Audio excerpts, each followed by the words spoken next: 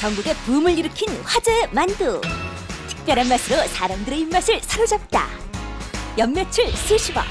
한만두 식품 대표 남미경 권사. 인생의 밑바닥에서 보호망이 되기까지 터닝 포인트가 된 만두 사업의 시작. 곧이어 닥쳐온 두 가지 시련. 이혼과 만두 파동.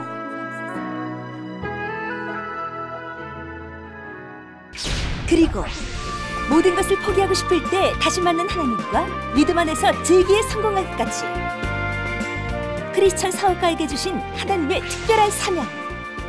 그 이야기를 내가 매일 기쁘게 해서 만나실 수 있습니다. 많은 시청 바랍니다